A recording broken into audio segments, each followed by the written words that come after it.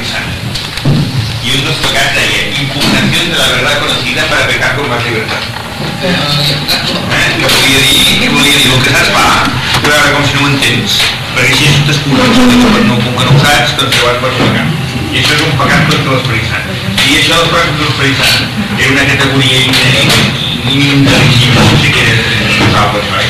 Que teníem el catecisme que no sabíem de què va dir que anava. Però llavors ara, ja de grandet, llegint l'Evangeli i altres esquistes més cristians doncs deia que l'únic pecat que no serà perdonat serà el pecat contra l'esperit diu així, diu Jesús l'Evangeli tots els pecats seran perdonats menys un el pecat contra l'esperit va, llavors doncs per la llista dels pecats contra l'esperit posen tots. Posen tots eh? es posen tots contra l'esperit no, no, no, tots. per uns quants. I un d'ells era aquest. La impugnació de la veritat coneguda per pecar més llibertat.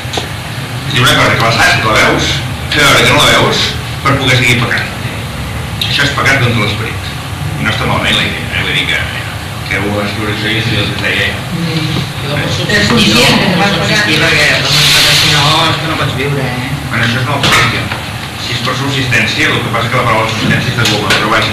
És de goma. Sí, un és per subsistir, si llegit, altres amb això ja... Per, per subsistir, encara no ens agrada llegir, però van subsistir, sí, eh? Bé, això és un petit repte, oi? O gros, segons que us miri, perquè amb aquestes amenaces que he posat ja hauria passat de que a poc a poc anem entrant en unes, uns aclariments que ens lliguen, que ens obliguen a veure que com ho arreglarem això, eh? perquè si té res que val la pena fer-ho eh? i tenim responsabilitat de fer-ho. Aleshores, aquest curs que no sabem com acabarà, vale. doncs posa on estiguis més còmode dintre d'aquests fils, que no et cansin massa fils.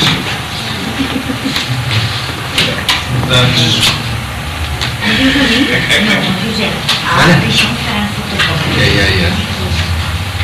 Doncs d'aquest curset que no sabem ni com ni quan acabarà, que depèn també de tot plegat, de com vagi, estem ja a meitat d'aquest any, d'aquest any estem a la meitat, perquè hem passat la tardor i estem a mig hivern, i ara queda mig hivern i la primavera. No? Avui som a la lliçó 52, ah, del sí? curs sencer. El curs sencer. 52. Doncs d'alguna manera s'haurà d'acabar aquest curs, eh? perquè si no això sembla no sé què. Doncs eh, la part final del curset jo el, el solia acabar deixant el futur molt despenjat. Perquè esclar, tot això ha sigut passat, eh? encara estem en el passat i ens anem acostant cap al present. Eh? I llavors és acabar el curs en el present i el futur el deixava doncs, despenjat. Però mm, aquest any que ja porto dos o tres anyets estudiant d'aquest tema, aquest problema. Doncs aquest any ja tota aquesta fase final del curset de, de, de, del passat oi, està feta de tal manera que permeti perllongacions científiques o extrapolacions científiques més procientífiques, diguem-ne, no?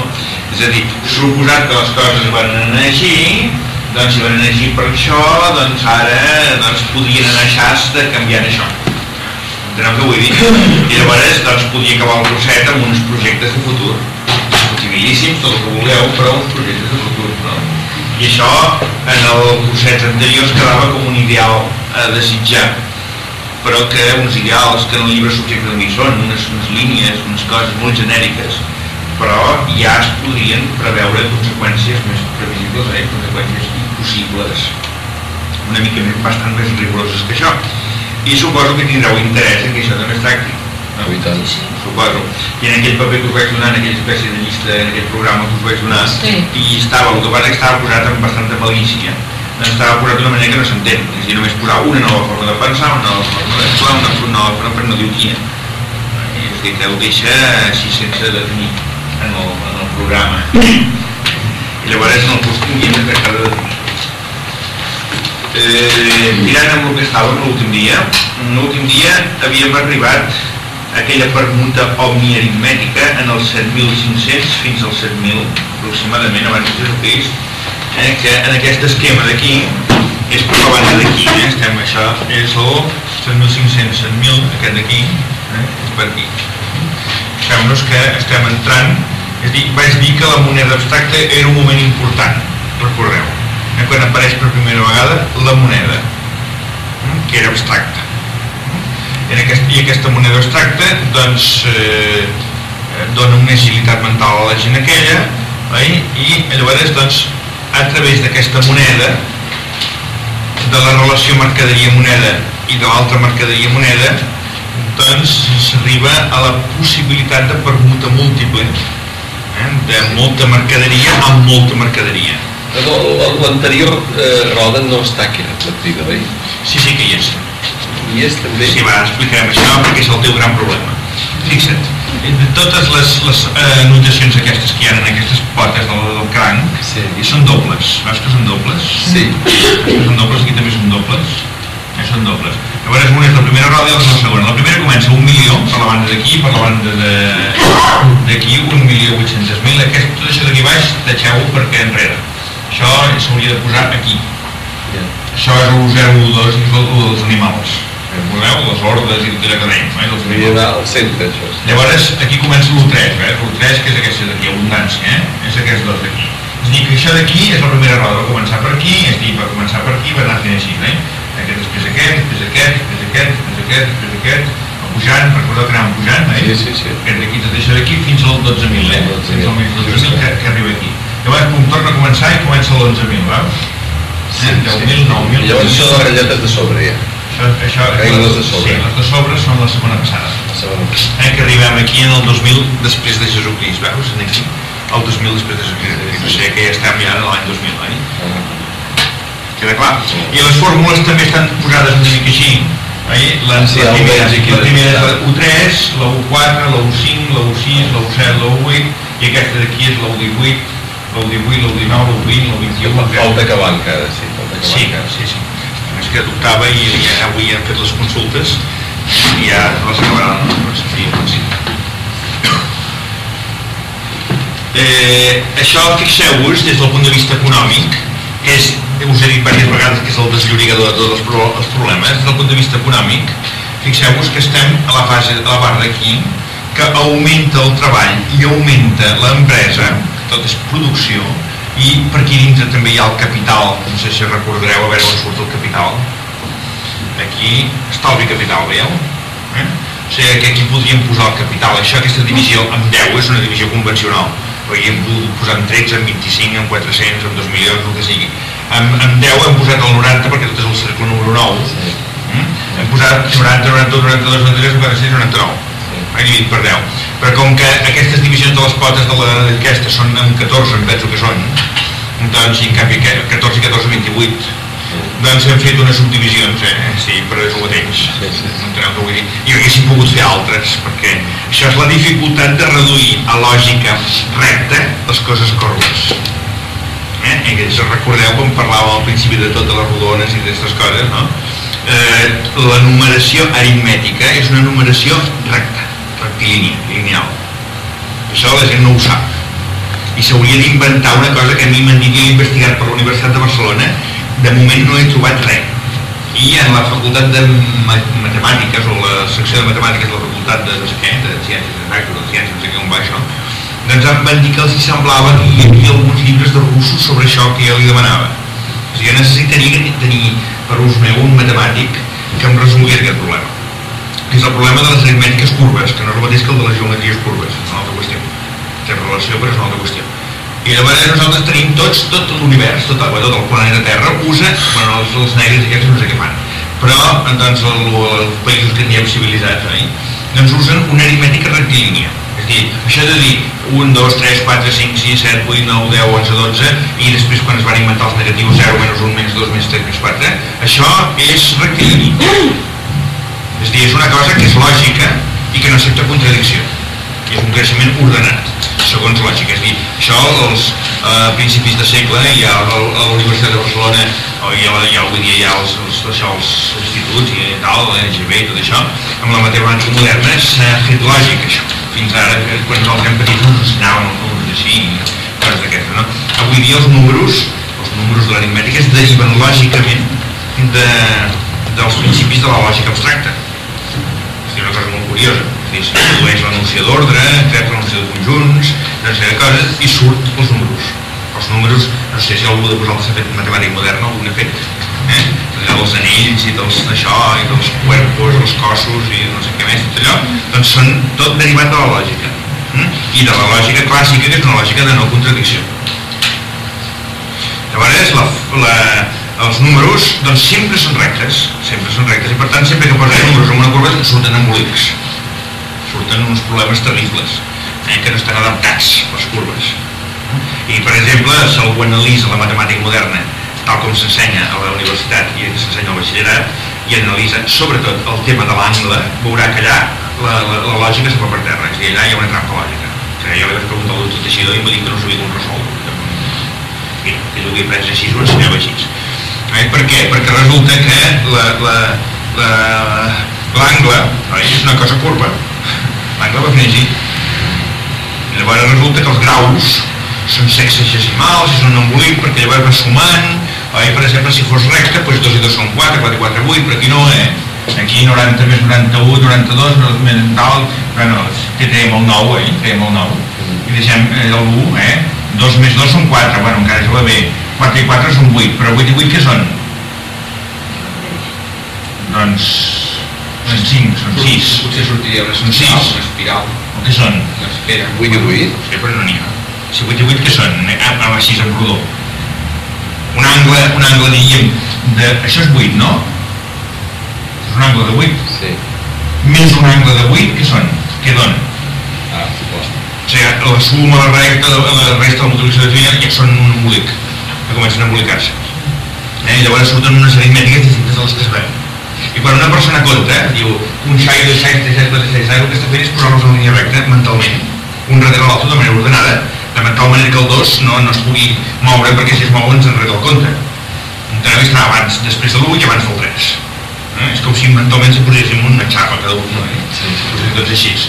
Llavors, doncs, això fa un embolics terrible. No, això ja no sé de què venia jo. El cert és que... No, és a dir, si necessitaríem una aritmètica curva que no tenim.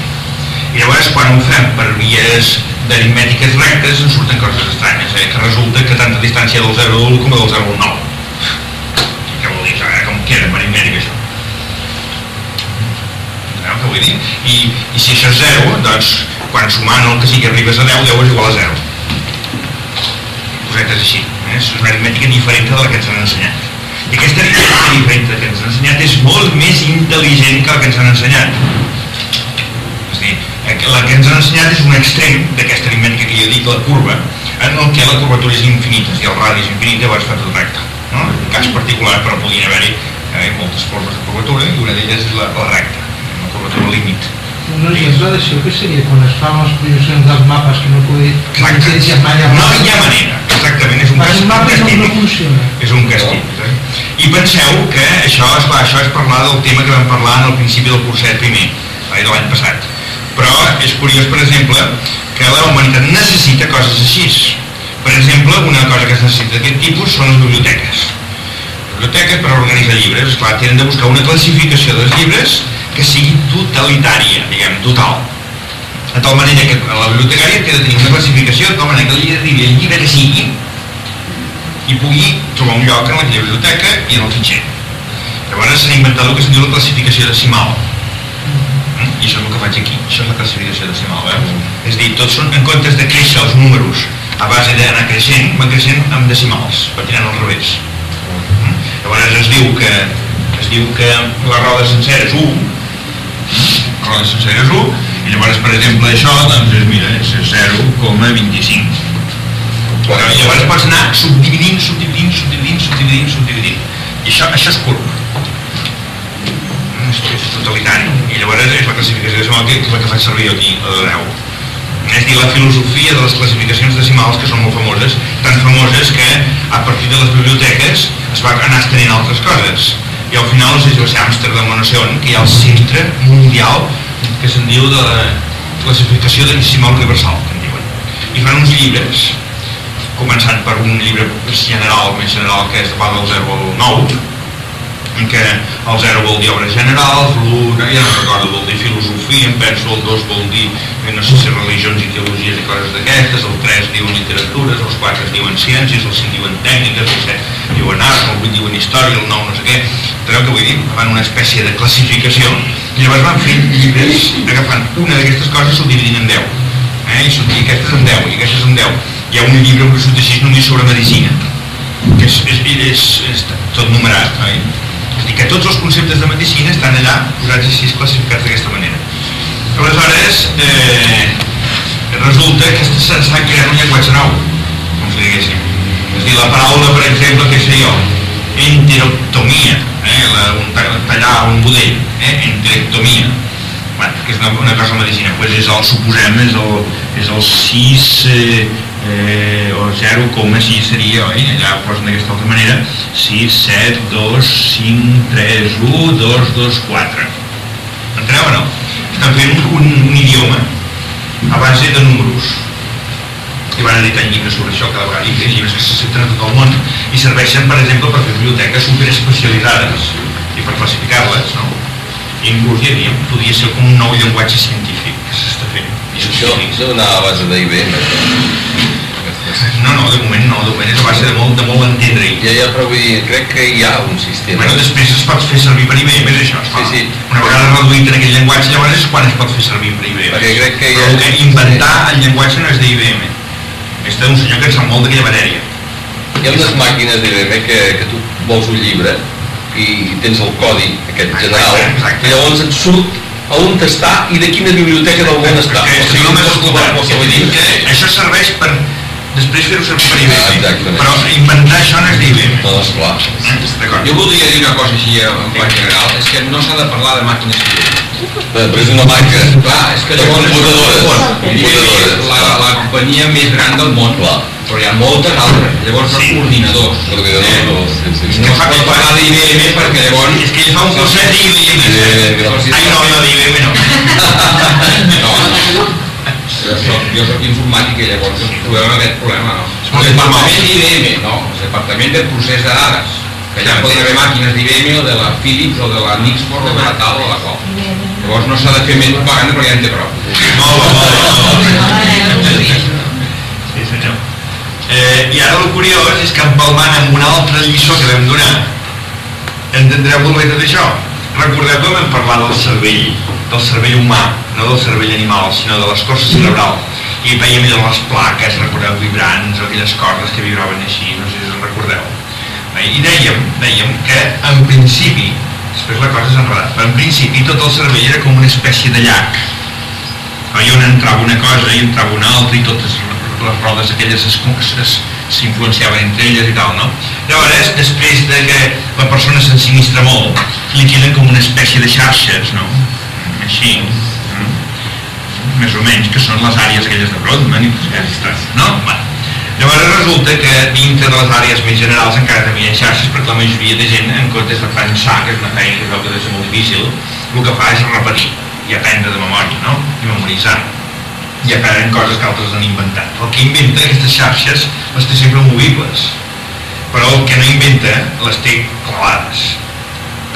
I té una, una escala de valors, ja sigui en la seva professió, ja sigui en la seva vida particular, ja sigui en l'educació dels seus fills, ja sigui en les seves diversions, el que sigui, i és, està com programat. No? Però recordeu que dèiem que eh, si per exemple suposem que aquest és el cervell d'un metge doncs, i aquesta àrea d'aquí és l'àrea de medicina i totes les altres àrees aquí hi ha el golf, aquí ha la família aquí els amics, etc. per dir-ho d'alguna manera no?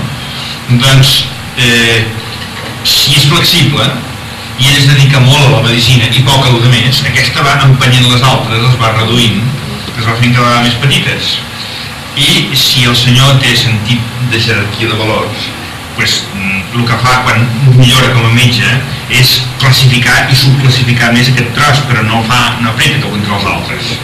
Eh, que veieu la cosa, no? Però en conjunt podríem dir que el cervell és com un centre limitat i que mm, creix complicant-se internament, no creix expandint-se.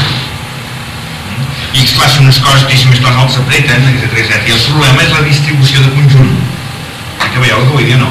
El problema és, si li donem en aquests 3 centímetres quadrats, en aquests 4 o no, el més a un més a l'altre, el que sigui, però el que no podem fer és perquè aquest creixi, creixi cap a fora, perquè no n'hi ha més.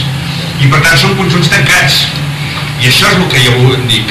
És dir, el problema de les aritmètiques curves i tancades, corbes i tancades, és el que realment interessa, perquè el nostre cervell funciona així, és, és tancat.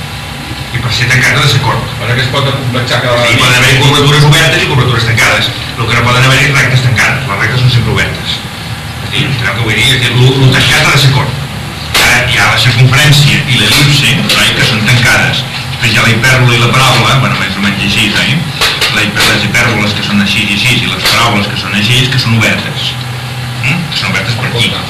Estàs insinuant que dins del cervell eh, depèn d'una actitud in- d'una actitud personal d'aprenentatge perquè unes àrees eh, s'acomplexin sense invadir les demés o bé deixin les altres en ridícul no? però vull dir, és una cosa totalment instintiva Bueno, Vull és dir, que bueno, tu- aquest cervell, aquest cervell té l'altre cervell, que aquest ja el posava així.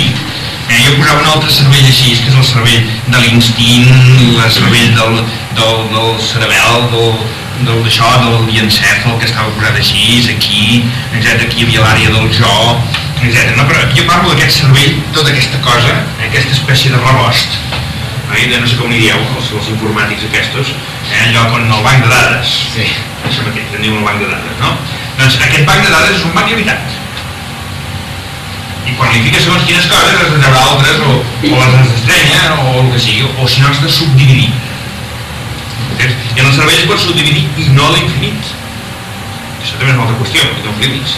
Quan arribes a la, a la unitat elemental neurona, el que pots fer més jocs. Que diu que el saber no ocupa lloc. És mentida, Mentida. és mentida.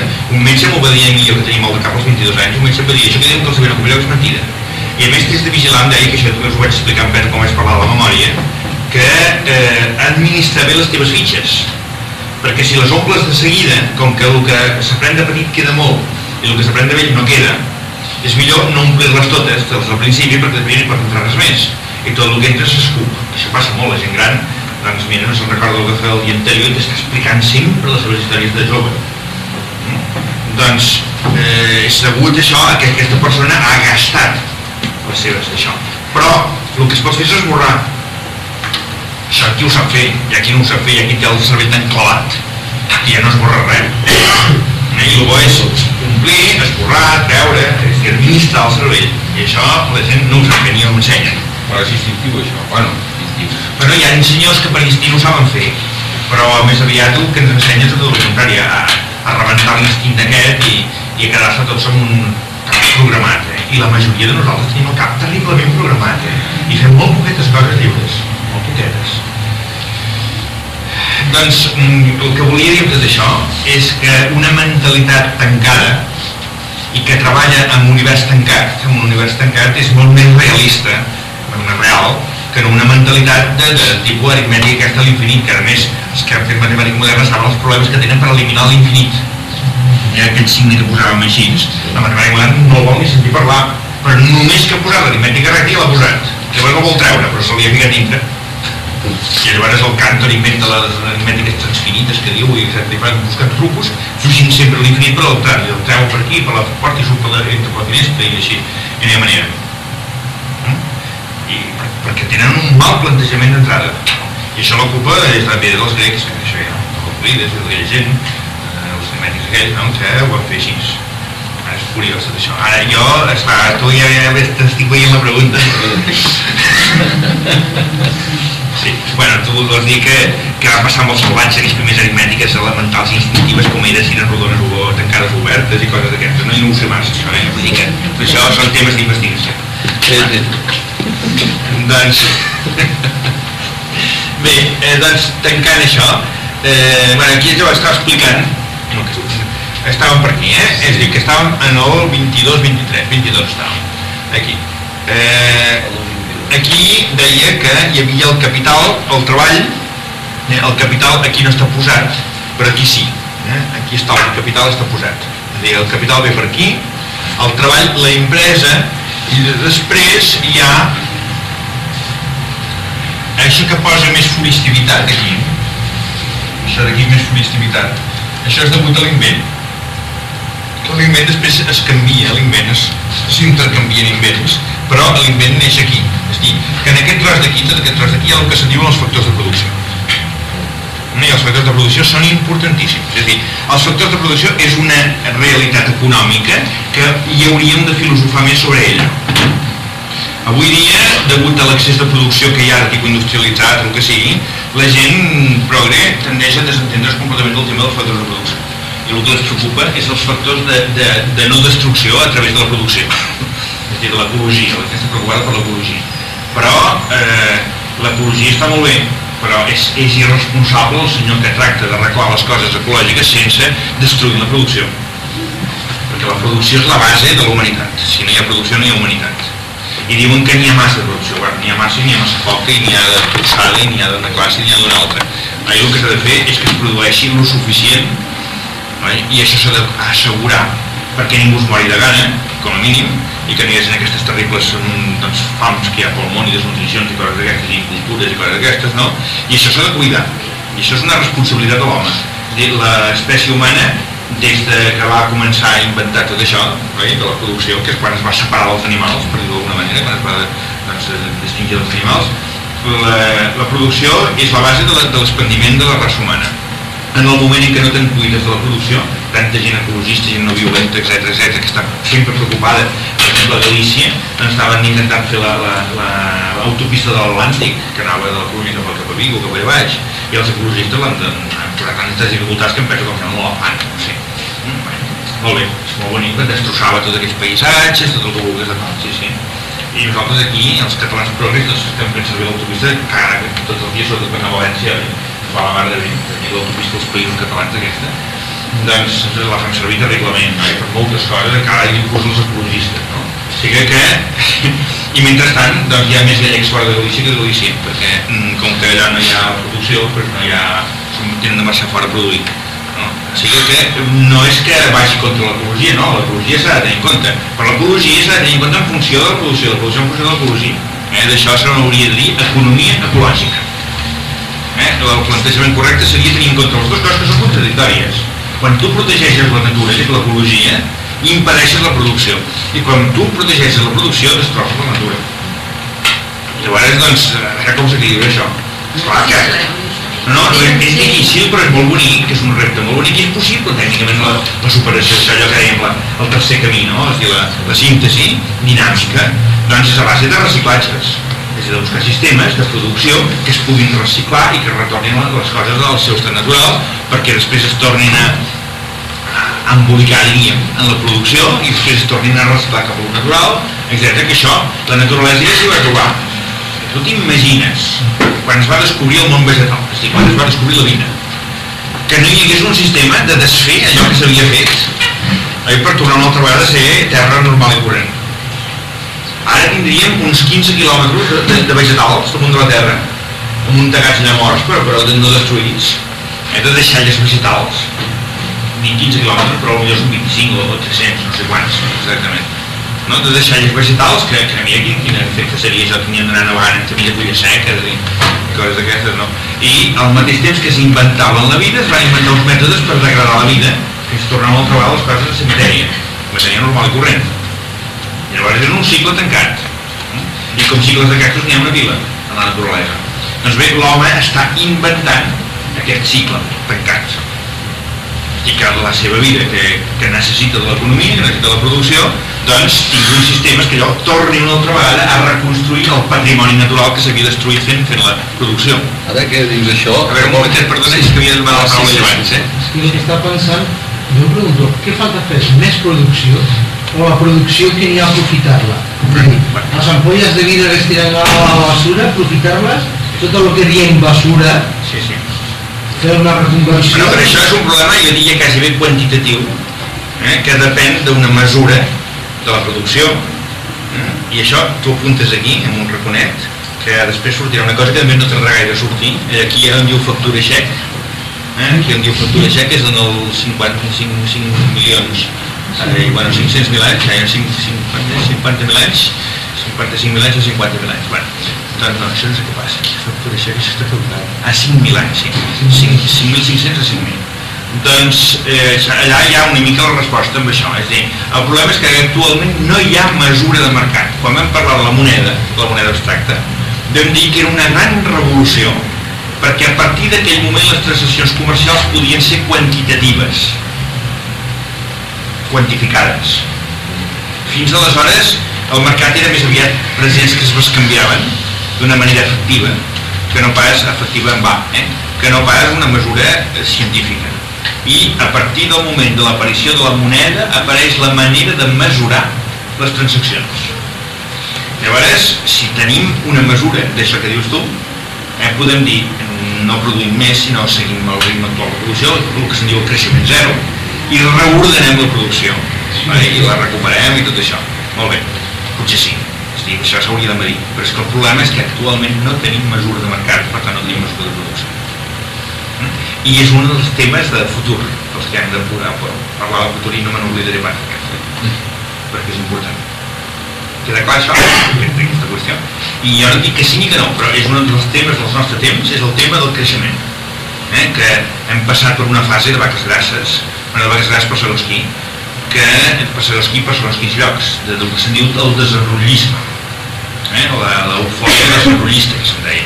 Que això no és només capitalista, eh? també el món socialista no va plantejar. El Marx té en el, en el penso que és amb el, el manifest comunista, cap a la part final del manifest comunista parla d'un programa, no? I llavors ell diu, i Lenin també, quan deia, quan, quan, quan agafem Rússia, quan agafem el poder, un dels punts primers de tot, augmentar la producció. Punts essencials del marxisme necessita l'augment de producció. I a més creu que amb la seva reordenació social augmenta la producció més que en el capitalisme. Cosa que s'ha d'estudiar i va necessitar de no treball. Doncs aquesta idea. I el capitalisme ja no diguem. El capitalisme és de la seva essència, el créixer, i això el Marx també ho va estudiar en el Capital, deia que el capitalisme si no creix s'ensorra. O sigui que això és curiosíssim. El capitalisme si no creix s'ensorra. Hosti, perquè eh, qualsevol invenció nova, eh, la invenció que sigui de les màquines de, de les, de les neveres, per exemple, doncs immediatament sí, el que l'inventa pot posar casa dia amb el preu que vol perquè no té competència, però de seguida surten els competidors que comencen a vendre més baix, més baix, més baix per competir amb ell. I arriba un moment que tan baix que ja no ja desapareix el benefici. I al desapareix el benefici desapareix l'interès capitalista. I es mor el capitalisme, quan no hi ha benefici no hi ha capitalisme. I per tant el que en diu la llei de la taxa de creixement de, de, de beneficis fa que totes les coses tendeixin cada vegada a depreciar-se de tal manera que no, no hi hagi manera de tenir benefici. I per tant el capitalisme només pot subsistir creixent. És a dir, creixent vol dir inventar coses noves, o obrir mercats nous, o d'alguna manera creix, només creixent. Però el capitalisme sempre té una pressió de creixement terrible. El socialisme encara que només sigui per competitivitat rebatent. I això ha provocat, sobretot als anys 50, 60 i 70, els 70 ja no sé, aquí a Espanya va ser l'últim des del Franco, no? que va haver-hi un boom de desenvolupament impressionant al Japó, encara potser el té, eh, això. Això, tot llufa. Hi ha països, a més, que no, ha, no arriben ni a ser, perquè és un país de tercer món, etc etc. Llavors, doncs, eh, avui dia, del Club de Roma, que és molt catastrofista, doncs eh, va llançar la idea del que en diu el creixement zero, que el que hauríem de fer és això, és a dir, parar i reordenar, perquè això no va bé, mm? i no créixer més. Això del Producte Nacional Brut, el PNV, aquest, el PNB, doncs, eh, que sempre diuen que any només ha crescut un 1,3, però esclar, s'ha de comparar amb el creixement de població, i si la població segueix creixent i el Producte Nacional Brut no segueix creixent, doncs la gent comença a tenir gana i a començar a migrar i tot anar les coses malament. Ara si la població s'atura, no? Per tant, jo et dic a tu, tu què condemnes? Veus això? Diríem, és típica, perdona, eh, mentalitat d'ecologista. Per què no parem de créixer? Jo pregunto, has consultat la quantitat de població com augmenta? Tu volies, sincerament, en la teva consciència, condemnar a la gana, a morir de gana, aquests milions de persones perquè has parat el, el creixement? Tothom pots contestar que potser reordenant hi hauria prou per a aquesta gent nova, que també és veritat, eh? pot ser que sigui veritat No, això. si estic d'acord també en reordenar la producció De persones, la producció de persones. El problema del control, el control de la natalitat. Sí que es faci una mica millor. Aquest és un altre tema, és un altre tema important que molta gent l'oblida també, eh? i aquest el va plantejar el Malthus al segle passat i principis d'aquest, de que la humanitat tenia una explosió que anava a la catombe. Eh? No s'ha seguit el ritme que preveia el Malthus, però, però sí que creix la humanitat, esclar. I amb els països més pobres creix més de pressa que en els països rics, i llavors la cosa es desequilibra terriblement. Bé, eh, doncs tot això us ho deia, en tot tornant enrere, en el tema de la producció, eh? per tant és un tema important. I un altre tema important que tenim de ficar-nos al cap és que, així importants i clars, hi ha quatre factors de producció. Els quatre factors de producció són el capital, el treball, l'empresa i l'invent. El Marx, potser perquè era més proletarià, era, era partidari del comunisme tot això, dels obrers tot això, insisteix molt en el treball. Però el Marx ja reconeix, i això, això és un bon científic, que és que els altres factors de producció en el fons són treball acumulat. I això és veritat. És dir, l'empresa és una estructura veiem que s'uneixen esforços de molta gent i de moltes màquines, moltes coses, és una estructura que està muntada per produir més. Però el muntatge de l'empresa no deixa de ser treball.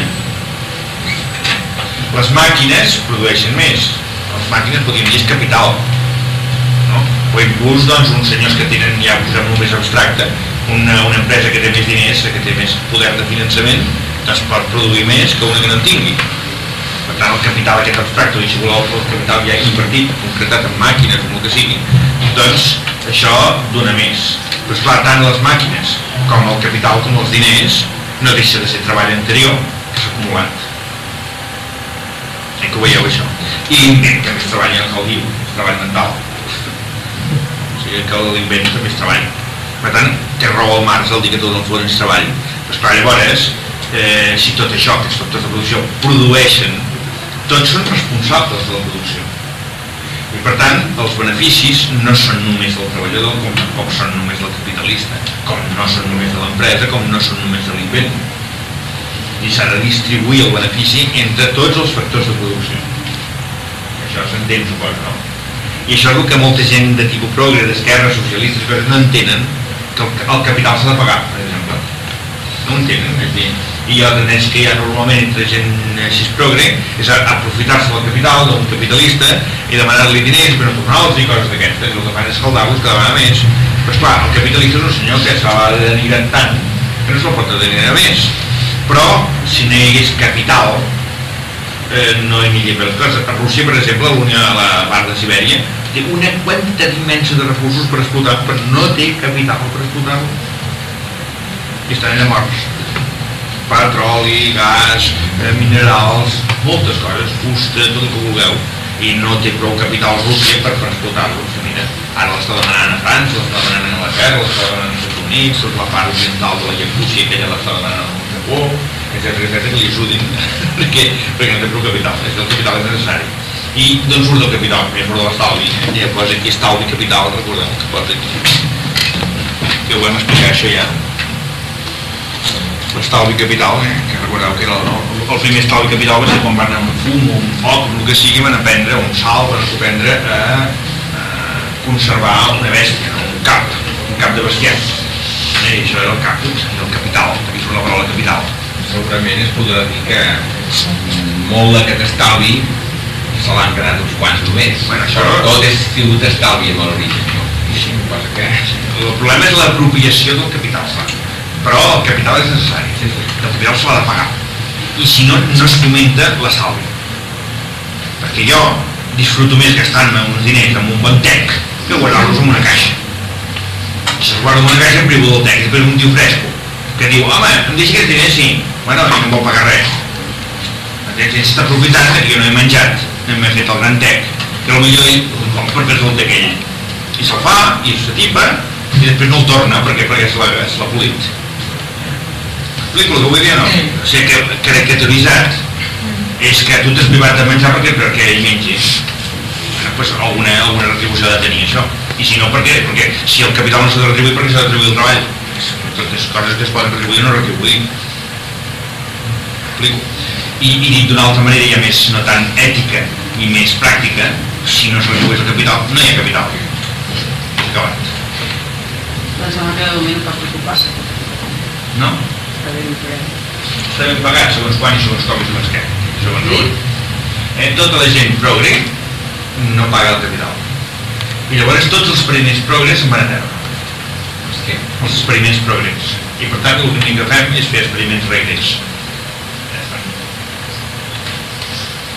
A Rússia mateix, per exemple, quan es va desposseir a tots els polacs, que eren els amos, se'ls va donar uns bonos de l'Estat i se'ls dit que es no sé què, un papers de l'Estat i se'ls dit que els pagarien, que no se'ls ha pagat.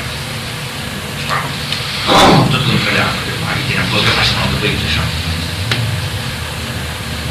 Llavors direu, bueno, però és que el capital tenen acumulat quatre senyors, un porta tot, molt bé, això és altra qüestió. Però vull dir, en principi el capital s'ha de pagar. I qui diu el capital diu l'empresa, i qui diu l'empresa, per exemple, doncs eh, s'ha educat en l'obrer aquí, les comissions obreres, coses d'aquestes, només reclamar augment de salari. I es carreguen les empreses, avui dia s'estan carregant les empreses una de l'altra. I no hi ha respecte a l'empresa, perquè l'empresa no és res, perquè ells només pensen en el treball, que l'avantguàrdia de la història els dimonis, i resulta que llavors es carreguen coses elementals i necessàries.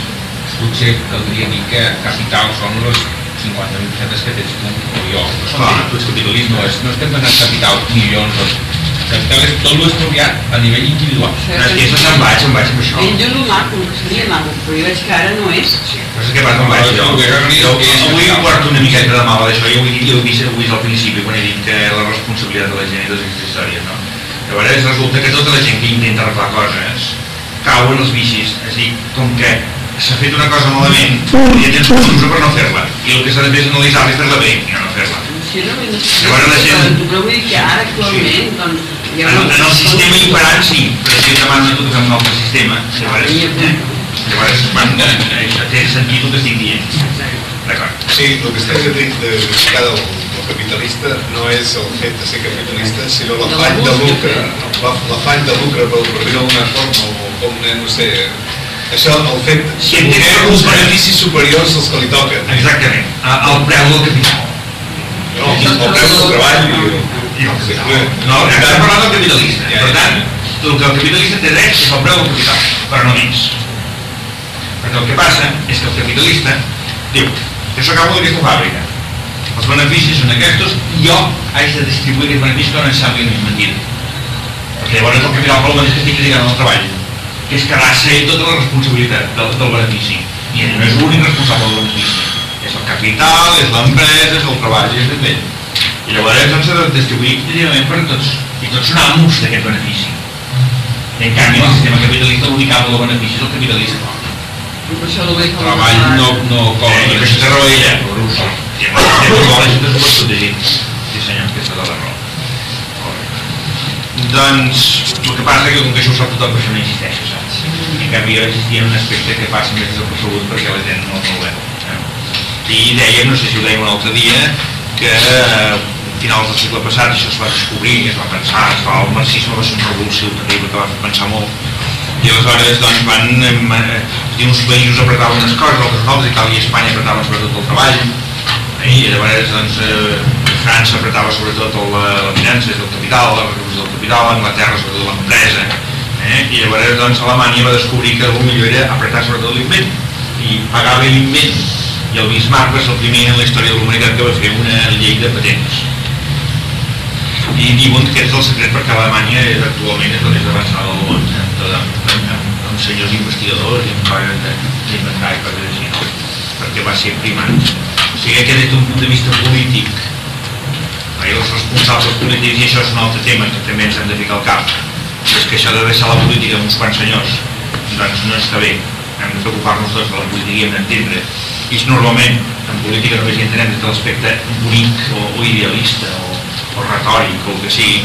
Les, entenem per política les pàgines que no té que posen de política, però les pàgines que posen economia ens les saltem. Eh? Doncs la política gesta en l'economia.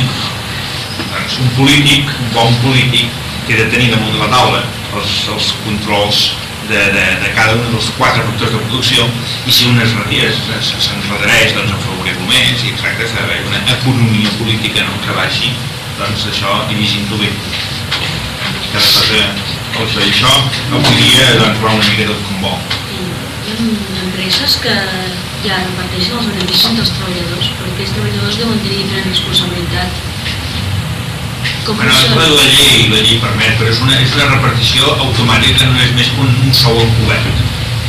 No, no, augment de no sou. No, perquè tenen l'obligació de repartir una quantitat fixa i resulta que, que els beneficis són, són, no són fixes. A més a més, en rigor, si repartien els beneficis també tenien de repartir les pèrdues, les pèrdues no es reparteixen mai obrers. Si al obrers li passa com amb la dona, saps que té tota llei a favor seu, precisament perquè són, són desgraciats, estan escoltats pel sistema. Eh, llavors, eh, les, les lleis laborals eh, han aconseguit que els amos reparteixin beneficis, però no són beneficis. És una quantitat com si diguéssim, mira, salaris, mira, un, un tant per cent de salari més. i mira, això es menja dels beneficis i les fluctuacions dels beneficis no afecten el corrent, ni en més ni en menys. Per tant, no, no reparteixen beneficis. Això és aquí, a la legislació d'aquí. Eh? Per exemple, aquí les cooperatives, o per exemple algú de vosaltres estarà, estarà doncs, assegurat a la, se diu allò, la, hi ha una empresa, la mútua del comerç i la indústria. A la mútua del comerç i la indústria, doncs, quan hi ha beneficis, es reparteixen els socis. I cada any li tornen diners, si és que hi ha beneficis, però són diferents cada any. És a dir, depèn dels beneficis. Això sí que són repartiments de beneficis. Doncs quan, quan més que no pagues. Pagues menys, pagues menys, el que sigui, una forma de... Però una cosa que cada any s'ha de, de decidir el que és, perquè depèn dels beneficis de l'any. I també les cooperatives que funcionen bé també hi ha el que diu l'extorn, que també torna l'accés de, de, de preu que t'han posat. O de de consum, o que no? Quan t'han cobrat massa, doncs, vol dir que allà una caixa i com que no van en afany de lucre per quedar-se els amos de ningú res, també es reparteixen altra vegada o donen capacitat de compra gratis. dir, no? Mateix. Bueno, doncs estàvem en el, en el 22. Bé, l'última cosa que us vaig dir a més és que en aquest 22 apareix l'astronomia, que és la segona cosa, la segona mesura. Eh, La, la, la, la mesura del temps, eh, que comença sent el temps agrícola. Apareix la noció a poc a poc, la noció de dia, la noció de llunes, eh, que són cicles de 28 dies, que també no són exactes del tot, però vaja, són exactes. Després l'estació, que solien ser tres llunes, aproximadament, després l'any, que eren quatre. Des d'aleshores fins avui dia, que en aquests llocs és aquesta precisió tan enorme, però són moltes històries. Eh? Avui dia, eh, jo si no recordo malament, per definir el segon no tenen res a veure amb el sol, ni amb la lluna, ni amb l'estrella, ni amb res de tot això, perquè tot això és terriblement complicat. És terriblement complicat i inexacte perquè el mateix sol fa coses estranyes i a vegades no fa el seu cicle amb el temps, amb el temps que li toca eh, i coses d'aquestes perquè segons com tingui Júpiter doncs es mou més i segons com el tingui es mou menys i, i per tant doncs és irregular oi? buscada la precisió que busca avui dia i aleshores buscat em penso que és el temps que eh, o sigui, és una, una, un múltiple oi, del temps que el, la llum de sodi, que és una llum groga molt determinada, doncs una ona de sodi, de llum de sodi fa així, en aquesta distància, el temps que tarden a fer una ona, doncs això es multiplica per no sé quants i dona el segon. És una super microscòpica i super no sé com. Que, i que avui dia busca la unitat del temps per aquests camins, però llavors resulta en l'agricultura. Eh, seguim en aquest progrés. Aleshores estem ara en el eh, 6.500 al 6.000. Aquí mm, doncs, passen diferents coses. Des del punt de vista eh, econòmic o comptable que estàvem estudiant ara, apareix el que se'n diu la endocomptabilitat. A veure aquí com ho posat, endocomptabilitat. Perquè de l'altre de l'anterior no, no hem vist la part esquerra, oi? Sí, sí que l'hem, no? A veure, és el... Endòpolis jerarquitzada. Sí, sí, sí, és que passa que no l'hem vista perquè jo vaig posar això per posar alguna cosa aquí perquè no hi havia res. Eh? I poc a poc la, la ciutat, la polis, aquella que devem parlar a la vegada anterior, eh? aquí posa polis, eh? Jo, la polis, l'imperi, que vam explicar molt. Sí. Doncs, Ciutats, les ciutats, sí. les ciutats d'estat. Sí, llavors em vaig, vaig explicar una miqueta tot allò que dèiem dels metecs, dels periecs, Ah, de- sí? que sí, doncs és això. És a dir, que hi ha uns que són esclaus pràcticament del tot, però que a poc a poc es van promovent a lliure, després hi ha els lliures més baixos, hi ha els carrers, eh, que són els amos de la situació. És dir, la, les ciutats aquestes estan jerarquitzades, eh? I diguem dòpolis perquè són polis tancades, eh? molt tancades entre elles mateixes, molt jerarquitzades, que de totes maneres tenen un cert bon viure perquè no tenen agressions exteriors pràcticament i aleshores doncs dintre generen molta cultura ara aquestes polis de totes maneres doncs ja tenen una, ser- un, una servitud és a dir, una gent que estan en una posició per sota i uns que estan en posició permanent i després la, la, la, l'assemblea dels ancians aquesta doncs no són gens democràtics és a dir que ells ho decideixen tot des de dalt etc etc. O sigui, tot això ja són defectes que es fent crònics cada vegada més eh? aleshores seguim una altra vegada per l'altre eh? això de l'hem de comptabilitat és important és important, eh, primer que tot, hi ha una separació entre sacralitat i estat. I fins a aquest moment el rei era al mateix temps sacerdot o assumia les càrregues de sacerdot o tenia els seus molt controlats i comença a separar-se. Eh, en la polis hi havia en el centre de la polis, normalment en un punt més alt de dintre de la polis, en l'acropolis, hi havia el temple. Sigui, el temple era, estava en el lloc dominant i això és una cosa confirmada a Atenes, la tela antiquíssima Atenes i després de Jerusalem mateix, la etc. Aleshores, el sacerdot rei concentrava el comandament social. Eh, I llavors en el temple s'anava concentrant el poder i el saber, tot plegat, i la cultura, i l'economia, i tot. Eh, llavors hi havia una força armada que vigilava el temple, que això està, està confirmat, està testificat en molts llocs, en llocs més tardans, eh, però vaja, que estaven en aquest període. Eh, I sobretot el que guardava era el tresor del temple. Aquest tresor tenia eh, diners, diguem-ne, o riquesa pública, és a dir, capital, oi? públic, i també tenia capital privat. I tot estava dipositat, és a dir, de les transaccions privades que hi havia, és a dir, que seguia existint una economia pública i que ja han deixat de sempre aquestes fórmules que han anat deixant perquè es va reduint, eh? l'economia pública va desapareixent, i ara va creixent més l'economia privada, incluïda l'economia privada del rei i del sol del rei, el que sigui, oi, que s'anava fent amo de totes les coses, que sí, oi, anava fent aprofitant-se de la posició preeminent com a administrador de les coses públiques per afavorir les coses privades, això ho fan han fet tots els alcaldes de la que altre una persona i aquests sí, que ja no ho fan ja res. Però bé, eh, normalment el clàssic, els conservadors, els alcaldes conservadors, sempre era el cacic del poble que volia ser alcalde per aprofitar-se del sistema eh, social a favor del, del sistema particular, no? de la seva utilitat particular. Doncs bé, en, la, en el soterrani del temple hi havia el tresor públic i ja existia també un segell oficial de la ciutat, eh, una marca que tenia la ciutat. Llavors, eh, aquest cacic, sacerdot, rei, tot el que vulguis, doncs feia especulacions, s'aprofitava eh, i feia especulacions a l'esquena dels propietaris dels propietaris privats o a l'esquena del públic. Això, tots els ajuntaments es i fa un poquet, eh? I no sé si segueix fent. Eh, I moltes vegades, algunes vegades, li podia sortir algun desfalc, perquè doncs, la cosa es descobria, no? I aleshores, doncs, es podia, per exemple, que estava, ell, com que tenia l'administració i el control del tresor aquest més, més general, doncs podia fer ell una, una, una operació particular d'unes mercaderies, per exemple, d'invertir en unes mercaderies que potser pel camí s'inundava i es perdien, o el barco se'n anava a l'aigua, o, o uns lladres ho asfaltaven, o el que fos, oi? I aleshores, doncs, aquest senyor es quedava, i llavors estava descobert que havia fet amb diners altres coses així, no? Aleshores, la casta sacerdotal eh, doncs, encobreix el rei sacerdot per salvar el sistema i la institució, no? El tapen eh, i l'ajuden a, a, això, a, a fer-lo sortir d'allò i a pagar el que s'hagi de pagar, el que sigui tal. Però, aleshores, se'l força amb ell a separar, quedar-se només com a rei i deixar l'assumpte eh, sacerdotal econòmic, que és una cosa que ens estranya molt avui dia veure la Junta, però que aleshores era la Marta normal, en mans d'uns altres. Eh?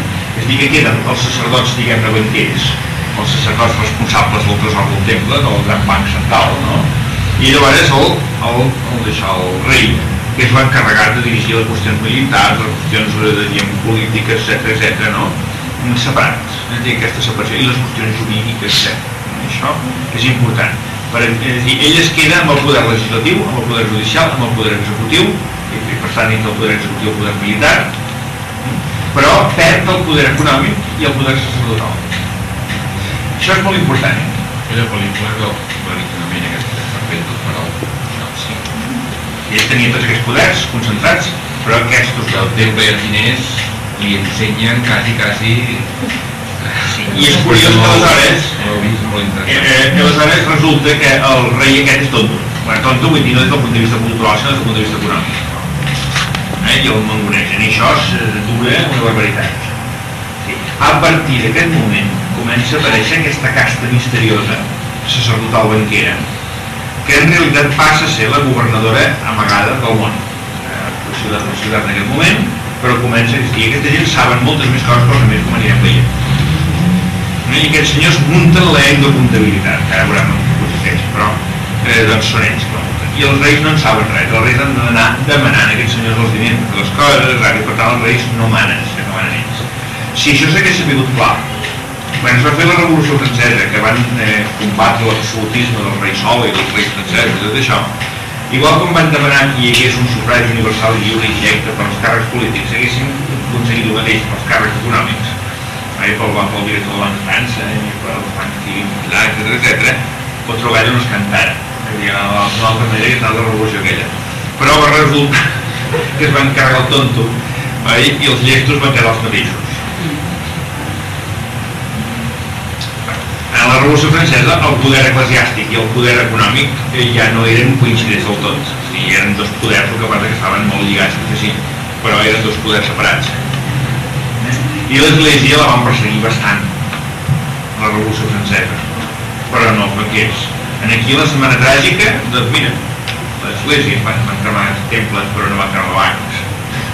És a dir, que el, la font de poder no la van tocar. I això és intel·ligència per part d'aquests senyors de que han sabut amagar el verdader poder i ensenyar una careta perquè la gent s'enfadi la careta i combati la careta i el més quedi tot igual. Bueno, això també té conseqüències pràctiques de tipus, jo diria, revolucionari, tipus de futur de noves formes de societat, no? És a dir, fins que no recuperem el coneixement de la saviesa econòmica emmagatzemada des del 6.000 que que passem ja abans de Jesucrist fins avui dia per uns senyors que van ser començar a ser sacerdots banquers i van acabar sent banquers sense sacerdots, doncs eh, anirem malament, anirem de tort.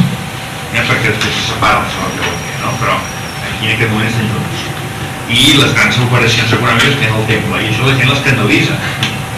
Eh, quan era una cosa naturalíssima, normalíssima. A més, en el temple es guardava com una cosa quasi sagrada de les mesures, que encara no han aparegut totes, però ja aniran apareixent. Eh? I una d'elles és aquest el segell, oi? que dona autenticitat als negocis i a una sèrie de coses que es feien. Va. Doncs veieu una miqueta, estem, estem descrivint un món que seria molt bo fer pel·lícules, dius aquesta del faraó, que potser ja es veu tot, això no sé si es veu tot o només veu un aspecte, l'aspecte faraònic. És dir, eh, queda, queda la penombra l'aspecte dels sacerdots. No, no, no. No, no, no. No, queda claríssim. Queda molt clar. Són els guardians dels tresors, i el poble està morint de gana i ells diuen que no, perquè això només han de decidir el destinat diners que són públics, encara són allà, però els controlaments, també, o utilitzar-los i... Hi ha unes piràmides plenes, uns passadissos plens d'or.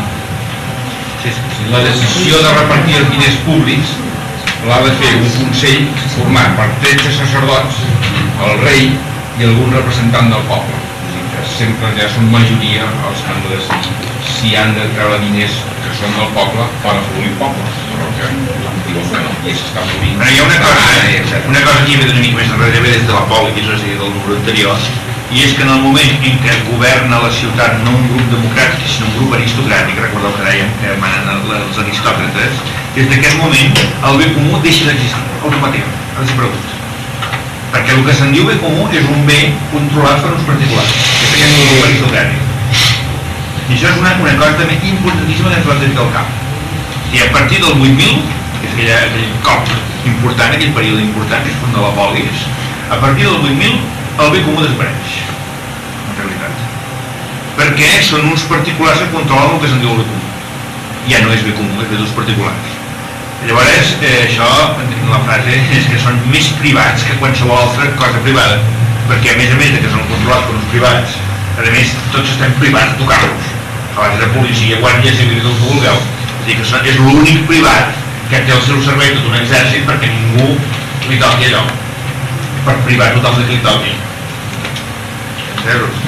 I només queden com a coses eh, col·lectives, però també molt difícils de controlar per la col·lectivitat, algunes coses municipals que van arribar fins fa poc, i allò que dèiem de, dels Pirineus, que hi havia uns boscos municipals, uns parcs municipals, coses d'aquestes, però també quasi sempre controlats pel cacic.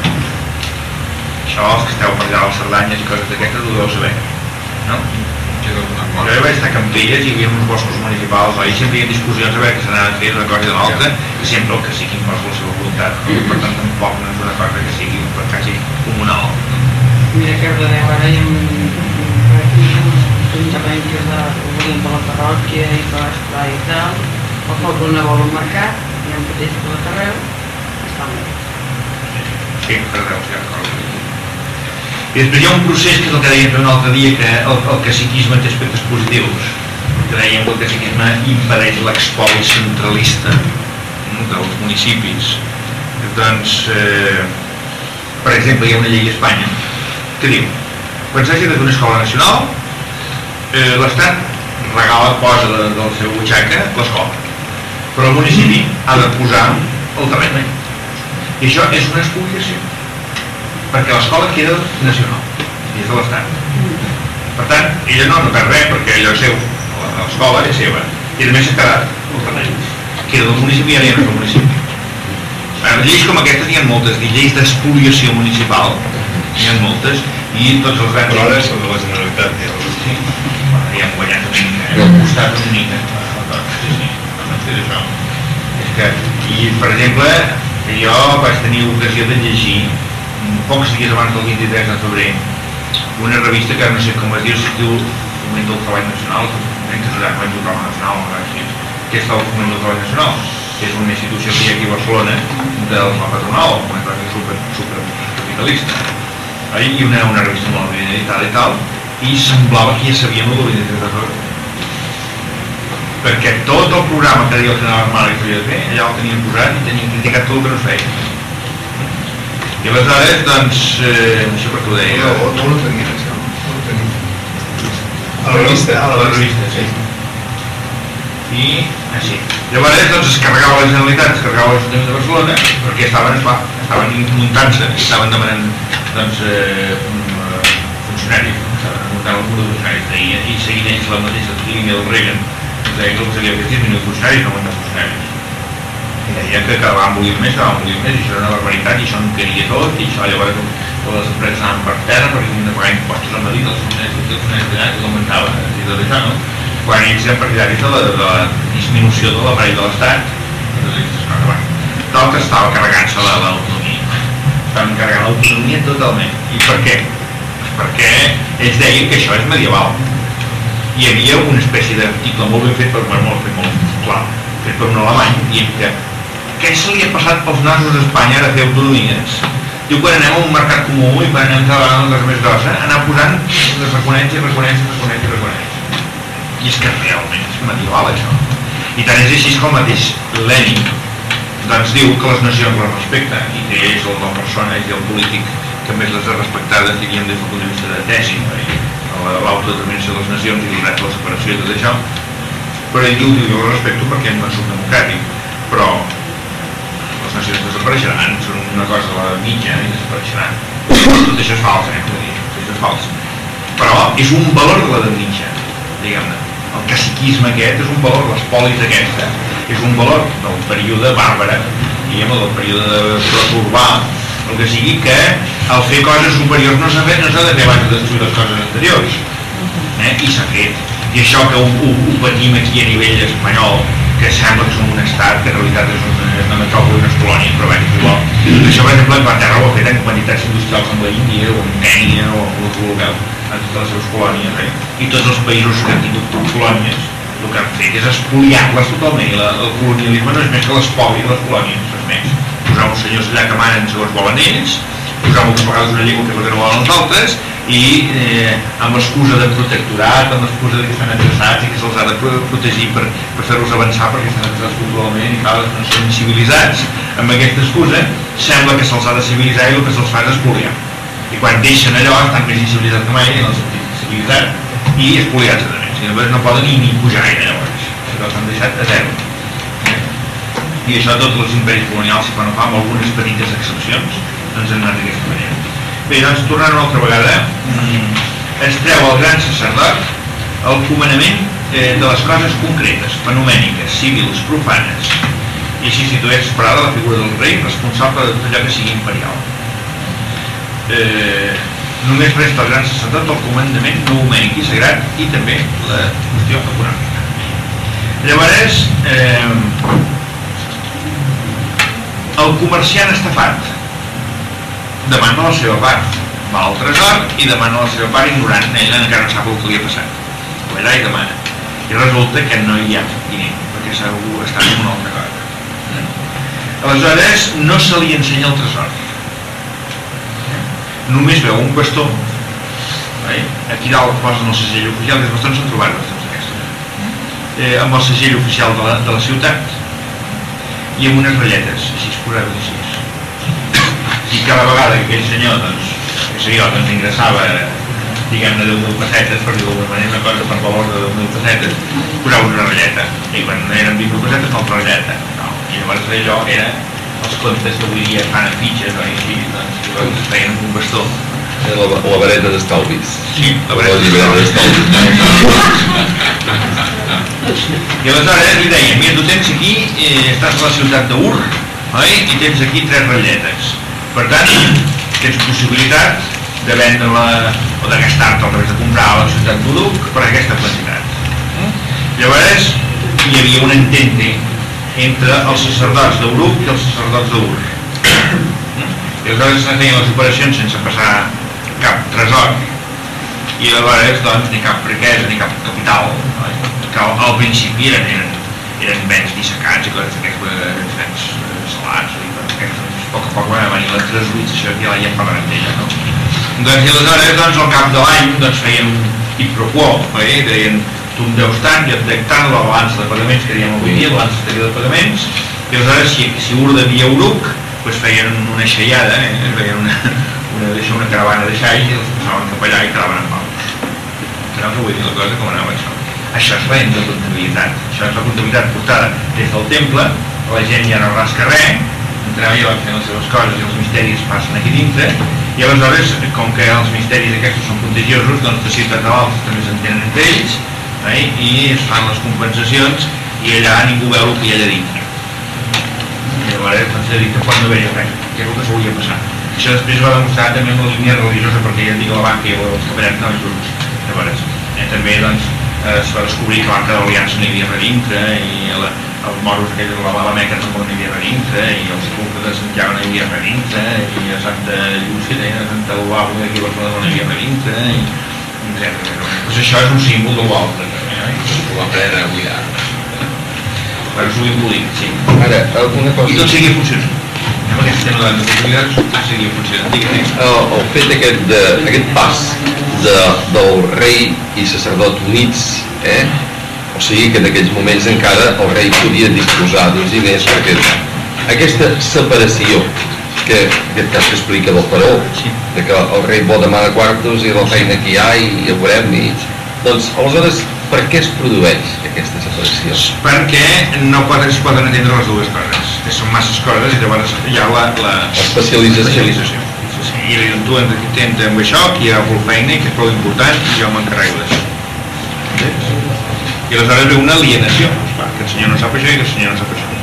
Els banquers són uns senyors covards, que quan veuen la panegada fugen. El Rothschild fugia com un dimoni davant de la batalla de Waterloo. Es va posar ben lluny a vigilar-la, però ben lluny, saps que no li toques una bala. I els militars, doncs, són molt valerosos, però tontets i els hi prenen el pèl, els hi prenen el número per darrere. Però això és degut no a l'especialització, és degut a la, a la incomunicació entre una malalt i l'altra. És dir, que això és un trencament. Perquè l'especialització conjuntada és bona, però la desconjuntada no. I aquesta és desconjuntada. Es I per què es desconjunta? Es va desconjuntant. Doncs es va desconjuntant, és dir, eh, això arrossega ja tot el patriarcat i tot això, arrosseguen elitismes, elitismes, ja com que hi ha situacions difícils, com que ja l'economia no va prou bé, com que tal, com que qual, doncs totes aquelles coses que hem dit abans, no?, s'arrosseguen, això va provocant que el que té més, com que és escàs allò, doncs mm, vol separar l'altre. I el que és més poderós dels dos és el que separa el, que, el margina el que no és poderós. I en aquest cas sembla que el poderós és el rei i els poderosos són els vaquers sacerdots. Eh? Llavors aquests van tirant el rei la tonteria de, de, fer-se, li inflen la, la veritat, i el pugen i tal i qual, que doni la cara, eh, i es van fer els seus negocis, com el Marc i el, el, Marc, el Marc i el, el Franco, per exemple, no? Un exemple d'aquestos. Sí, sí. Davant i l'altre darrere, Sí, no? això mateix, sí, sí, això popular. La figura del banquer, doncs sembla que l'origen de banquer banquer, és, i ara jo els de les banquers però eren sacerdots economistes, per dir-ho d'alguna manera, no? sacerdots financers i coses d'aquestes. Però el banquer que comença ja a jugar i tot això, sembla que arrenca inicialment d'unes persones que s'especialitzaven en el transport de les caravanes. Aleshores, un senyor que té caravana pròpia, que té una, una xarxa de caravanes, doncs ell pot enviar a través dels caravaners, pot enviar missatges a senyors d'altres llocs, llocs i uns altres, i començar a jugar eh? el, el comerç aquest a base de relacionar els temples, els diferents temples. Llavors, doncs, mm, eh, té, creen postes pròpies, amb cavalls propis per anar lluny de pressa d'un lloc a l'altre, i de vegades inclús exèrcits propis per protegir els seus, les seves rutes, etc., de les rutes del comerç. I llavors ells van perfeccionant una comptabilitat i supra, supra poli, supra ciutadana, és a dir, que va, ja és internacional i comencen a tenir negocis diferents classes, allò que els catalans es veu que també els consulats que teníem tot arreu del Mediterrani, els grecs també ho van fer, i els fenicis també ho van fer, etc. No? I quasi sempre doncs arrencaven de transports. És curiós, per exemple, que uns famosos doncs, banquers són els Rothschild. I els Rothschild tenien, primer van, van fundar-se a Frankfurt, després van començar, van fundar a Londres, a, a París, a Nàpols i a Viena. Doncs com que a ells els convenia tenir una comunicació pròpia seva per conjuntar tot això perquè necessitaven saber a Frankfurt si a Londres anaven fluixos de quartos o anaven sobrats de quartos per fer una operació a compte de Londres perquè la seva ja no tenia més diners és a dir, aprofitar conjuntament les operacions dels diferents bancs necessitaven tenir una relació entre ells. I en aquells temps encara no existia el telègraf, el telègraf, no havia tot això. Doncs van ser ells els que van finançar les vies d'Europa, els trens incluïda la, xarxa espanyola. I la xarxa espanyola va ser feta sobretot pel Rothschild. És a dir, que els, els Rothschild van fer el tren per tothom però perquè els convenia amb ells dic que això de la relació entre diferents llocs és, és importantíssima. I això per exemple els jueus en els calls de diferents ciutats també es relacionaven amb els calls de les altres ciutats. I gràcies a això per exemple quan estava cercada Jerusalem per les tropes romanes de Titus eh, de, l'emperador doncs una mica abans ja totes les riqueses de, de Jerusalem les van enviar a les jueus de les diàspores. I en canvi els jueus van donar una lletra de canvi ara a 3 anys o el que sigui no? amb els jueus de Jerusalem. I quan van entrar els romans van veure unes paperets que no sabien què significaven i van quedar mocats perquè volien un gran tresor i no trobar res. I al cap de 3 anys doncs a poc a poc dissimuladament van anar tornant els tresors no el trobaven cap a Jerusalem però els van quedaven i ja, va, ja van tenir el trobar tot i aquests jocs eh, doncs són els que permeten eh, doncs, aprofitar molt més el diner. Això no sé si us ho he explicat l'anècdota de, si ho vaig explicar vaig l'altre dia del Rothschild anglès us vaig explicar això. El, el Rothschild que fa a Anglaterra el fill del, del fundador de la família era el director de la banca eh, Rothschild d'Anglaterra. Doncs eh, eh, quan Napoleó va tenir allò famós dels 100 dies després va tornar a l'illa de l'Elba i va tornar a un imperi una altra vegada tots els europeus van aliar contra ell i el van, el van anar a trobar a Waterloo. I Waterloo va ser la batalla decisiva que la va perdre Napoleó no? llavors doncs els aliats entre ells els aliats hi els anglesos. Llavors el Rothschild anglès se'n va anar a veure la batalla de Waterloo que era a Bèlgica la batalla de Waterloo era a Bèlgica i ell es va posar ben lluny que deia abans ben lluny perquè no li toqués cap bola però va veure com anava la batalla i quan va veure que decantava a favor dels aliats en contra de Napoleó va agafar un cavall pagant oi?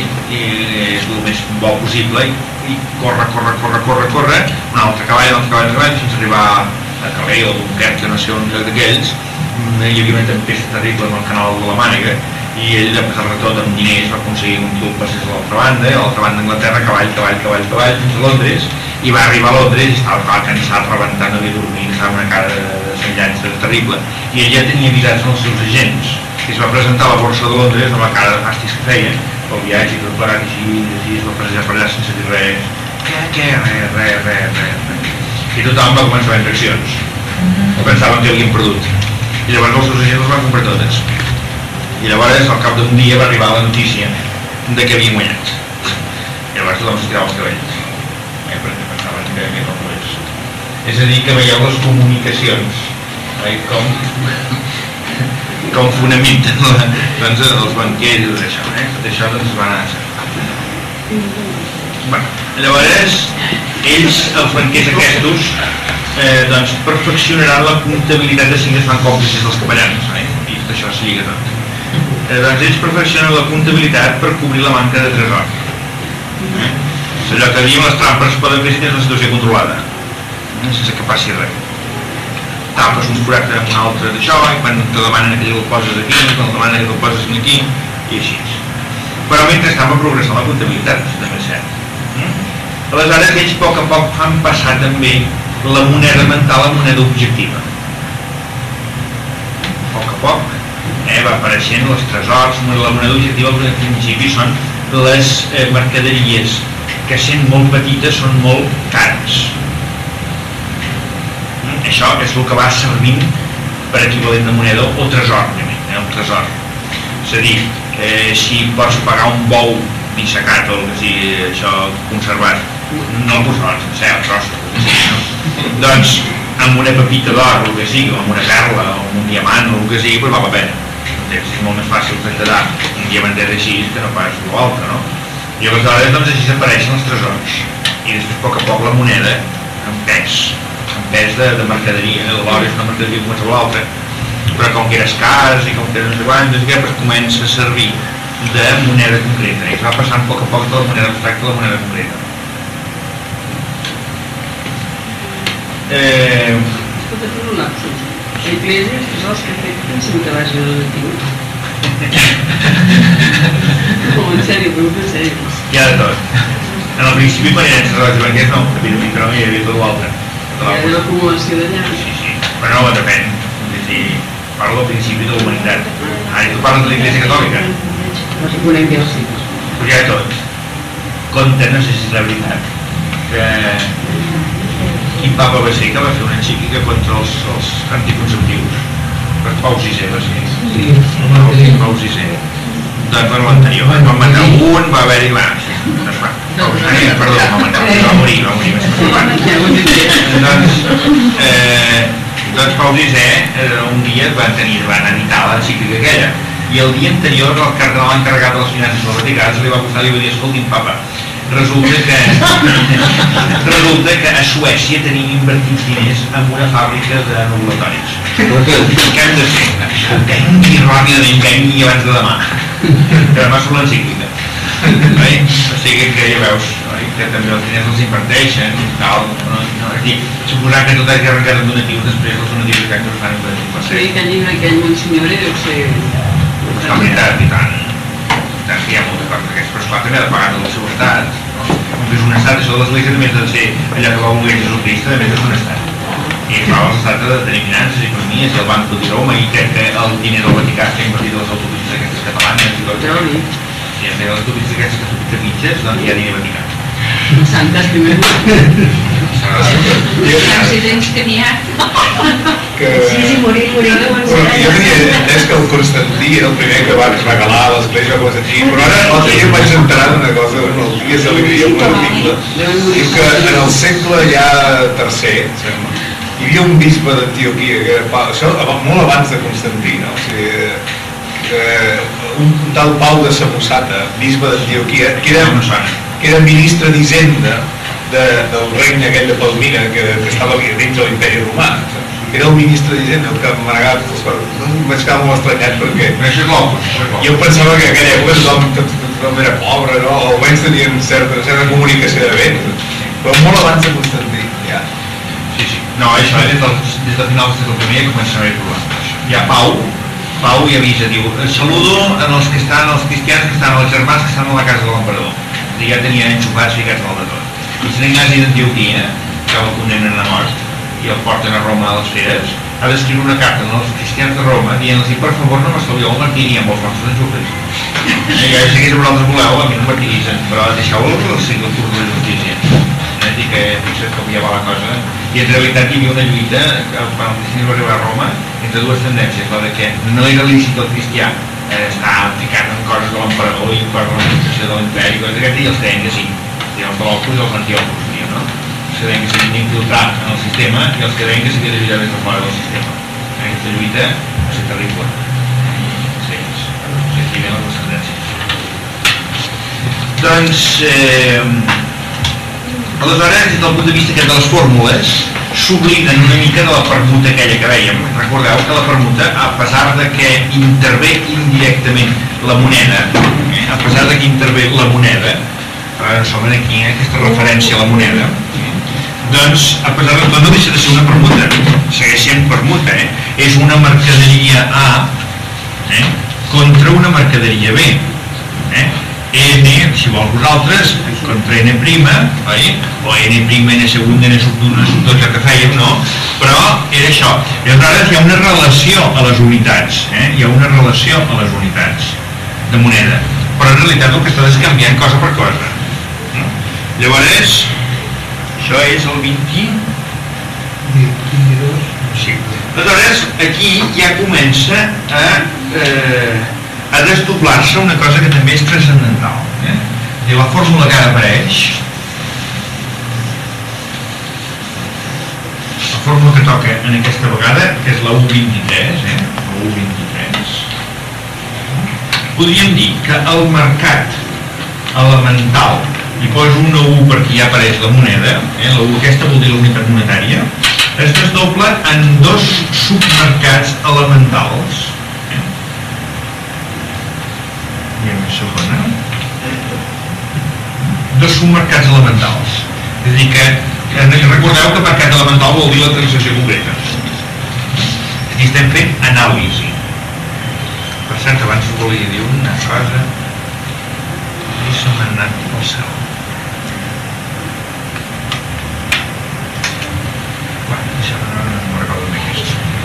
Això diríem, es transforma, i ara poso així, n prima sub 1, n segona sub 1, mercaderia A elemental, eh, una mercaderia tal, per exemple, doncs pomes, eh, contra una moneda relacionada amb aquesta mercaderia elemental més posarem una mica apretadet n sub 2 mercaderia B elemental n segona sub 2 perdó U unitat monetària M B eh? i tot això fixeu-vos igual a ara us poso un dos en punts és a dir allò que aquí fèiem tot muntat, ara ho desmuntem. I això el que fan tots. Solament que nosaltres ja no ens en recordem d'aquesta o d'aquesta. I nosaltres ja només ens preocupem d'això i torna a ser un igual a un però els dos són igual a dos. És a dir, d'una d'un mercat tindríem dos. En la plaça d'Ur el mercader tal que doncs ven un ramat de xais per contra unes ratlletes amb un bastó eh, que enteneu això? i això què? un taló.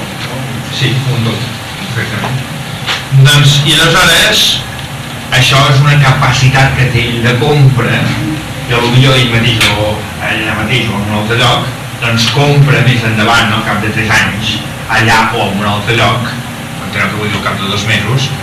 Per exemple, doncs la ciutat d'Uruc tenen molts tapissos no? doncs amb aquesta capacitat de compra compra tapissos al cap de dos mesos, el que sigui a Uruc fixeu-vos aquí el que hem fet és que la permuta que estava tot lligat una mercaderia contra una altra mercaderia l'hem separat en l'espai i en el temps amb dos, amb dos mercats amb dues operacions mercantils no necessàriament han d'estar separades l'espai ni necessàriament han d'estar separades el temps però poden estar. I això és un avantatge, és una llibertat. Una llibertat comercial. I permet ara, ara me'n recordo d'una altra cosa que us deia eh, quan es parlava aquí de les, de les factors de producció. Aquests factors de producció s'acceleren tots perquè el mercat xucla. És a dir, la permuta unitària la permuta múltiple la regla de 3, tot això facilita doncs, l'acceleració de, de, del mercat i quan ja xucla més el mercat la gent produeix més És a dir, si una cosa no l'has de vendre no la fas. Si no te la pots menjar tu, doncs no la fas. En canvi, doncs, quan el mercat xucla, quan el mercat és fort, doncs aleshores la producció augmenta. Eh? Per exemple, quan el Allende, que van matar, Allende era, eh? doncs eh, va entrar a governar, el primer que va fer va ser donar diners als obrers, pujar els sous. No tenia diners, eh? va fer la mateixa trampa que aquests senyors. Va fer anar la maquineta i va donar diners. I va dir, home, això sembla una barbaritat. No és cap barbaritat, diu, perquè els senyors aniran a comprar, llavors no sortiran els productes, llavors els fabricants fabricaran més i s'accelerarà tota l'economia. Dir, sempre que hi ha tibada de mercat, hi ha augment de producció. És dir, que quan el mercat està aquí, eh? Recordeu que aquí el canviarisme, que aquí posa canviarisme, eh? és doncs un petit error, doncs el, el canviarisme comença a partir d'aquí, no? Però esclar, en la segona passada ja sabien de la primera. Eh? I per tant, doncs, va, el mercat es va agilitzant, totes aquestes pujades d'aquí, tot això va agilitzant el mercat i això augmenta cada vegada més la producció. Ja. Doncs ara aquesta última avançada doncs, permet encara molt més la producció, diguem. I que, jo el que no acabo de veure és que sumi dos. Perquè sumaria dos si ell tingués el, el xais, per dir-ho així, si no els tapissos. Però o té una cosa o té l'altra, no? Realment. Mira, Aquests dos que són? aquesta transaccions comercials. La paraula U dèiem que era satisfacció. Entre dues coses oposades, dos, un canvi de dues coses, no? Un canvi. Pues aquí hi ha dues satisfaccions. La satisfacció del senyor, que ve en xais i li posen unes malletes, que està en burro, que es queda satisfet, i, un, i, i després al cap d'un temps i un altre lloc, el que sigui, la satisfacció d'aquest senyor, que per les ratlletes eh, recu- recupera tapissos. I tan content està eh, amb els xais, com amb les ratlletes, com amb els tapissos. Explico o no? Sí, però- Perquè ratlletes només, és la la fase entre aquest i aquest també, mira, eh, té, té, té ratlletes, és dir, té capacitat de compra. Diu que hi ha una acceleració del mercat. Fixeu-vos que això que tu no entens, jo tampoc ho entenc, però això ho en puntets. Perquè si reduïm el que dèiem al principi, en definitiva que estava el que està fent és canviar el xais pels tapissos. Sí, sí. Però, segur, però, ho diria jo, no? Sí, sí, això és el que està... Això, però tu estàs pensant en la fórmula de l'1.22. Estàs en la fórmula de l'1.22, en què jo posava així, aquí posava les M, aquí posava la U, la MA, aquí posava la MB, eh? i aquí posava l'altra U. I en el fons, taxes això, taxes això, i queda això. Això és el que tu veus, això és a més igual a 1, i a més amb 1 sense puntets. Eh? Però ara resulta que aquests senyors inventen l'endocomptabilitat i a l'inventar l'endocomptabilitat inventen una cosa estranyíssima perquè encara estem en la moneda abstracta, que encara no és res, després aniran tesoritzant si tens una mercaderia concreta per ajudar una miqueta a desatrapar la trampa. De moment estan venent ratlletes de bastó. Això produ- produeix interès. Què? Produeix interessos. O, Sí, encara sí, no. sí, sí, no, però de seguit, de seguit, de seguit, de deixar de seguit es des- es despatxa, es es posa en marxa. Doncs el problema és que, recordeu que dèiem que aquests, aquests trencats eren absurds matemàticament, perquè això és una cosa abstracta i això és una cosa concreta i no es poden dividir, es poden relacionar, són dues coses interrelacionables. Eh? Esclar, això és abstracte, sí, però mirat com ratlletes de fusta és una cosa molt concreta, eh? Perquè Això dona, li dona una promesa de compra. Sí, sí. Que això pot generar més mercat. I aquesta promesa de compra està fundada en la fiabilitat del temple aquell. Exacte. Però Genera més I esclar, fixa't com la fe religiosa s'ajunta amb el crèdit, que és una altra fe econòmica. Eh? Tot va juntat. aquest dos no, és- no és una funció amb, amb, el temps. Ai, que m'ho estic tota la vegada, ja estava... Sí, jo no pensat que aquest dos podria ser... I jo en quin moment A agafes? veure que té seguit, ja estava desblandat. Sí, d'aquest dos, Sí, sí. tu agafes uh, tres xais, te fan tres ratlletes. Però aquestes tres ratlletes resulta que al cap d'un any a lo mejor no hi ha xais i està molt car. O han baixat o han pujat. Perquè es reprodueix una funció clar. respecte al temps. Si un aprofiti, per millor val dos o val vint. Sí, sí, esclar. Bueno, però això és, és el que ja apuntava dels interessos. Entens? Vull dir, de tots aquests jocs. Ja el que dir això de dir, aquest dos d'aquí, Sí, m'agrada perquè sou, sou tots us heu disparat, i us heu disparat igual com es van disparar els salons banquers. Es diuen, i això, això, això, això, això, això, tenim un joc impressionant. No no. Què? Que que no hi ets, no hi ets. Ah, és veritat, això, això, això és ho tens que tenir en compte. És que es deia- Ho somniar i la nit. que aquest dos es podria també resumir amb un 1, però amb una T al costat. Quin és la T? Factor temps. O sigui, un Però únic no veus el factor temps i el factor del temps varia, és una variant, no és una, una cosa fixa, perquè... I el factor espai, escolta, i el factor espai? Aquí s'introdueix l'espai i el temps. I Que, no, que segons el Kant no són més que una estructura mental a priori. Oi, que el fons és aquesta espècie d'àrea buida, saps? És dir, això així, això així, és a dir, la transició aquesta elemental és diencefàlica. Enteneu? És la foto. Entens? És allò que dèiem que el nano petit que veu xac i reacciona xac. Oi? En canvi, el passar per les U's, eh, la passada aquesta, eh, això, tot això és, és suc de cap, eh? Suc de cap és espai-temps, és suc de cap. Però això són les pomes que hi ha allí de les càmeres. Ja veureu, ja veureu, ja veureu. Sí, sí, però tu vas molt de pressa. De les pomes. Veure com ho diu per aquí, estructura què, valor de canvi mundial, és que quan jo avui aconseguir que entràvem en una fase, en una fase molt decisiva, i que passen unes coses que afectaran a tota la humanitat, doncs volia dir exactament això que esteu ara vosaltres captant. Que aquí hi ha un joc immens del no res. És una trampa molt sutil. Sí, una trama molt sutil. Fixeu-vos que el que té més gràcia en tota aquesta història, el que té més gràcia en tota aquesta història és haver descobert, això no és, no és mèrit meu, eh, és un tros, que la, el, el trencat aquest entre una mercaderia i una unitat monetària és una, un trencat fals. És dir, d'aquí parteix la trampa. La gran trampa. Mm? I el fetichisme del diner i tota la història que van, van, van canviant a poc a poc perquè la gent no se n'adoni ara el bitllet de 5.000 pessetes i no diu el Banco d'Espanya pagarà perquè no pagarà res. Eh? La, el paperet i prou, eh? El paperet és una realitat del bastó. Res més. No hi ha hora al darrere, eh? No hi ha hora al darrere. És el paperet, si no fia el paperet no deu res. La gent segueix fiant-se al paperet, ho han fet tan bé que han anat portant el burro al toro així, oi? Fins on han volgut. Eh? I han fet exactament el revés del que el, el, el toro volia fer. Doncs ens han és el número així. I aquí neix això. Llavors, fixeu-vos que es fan dos mons.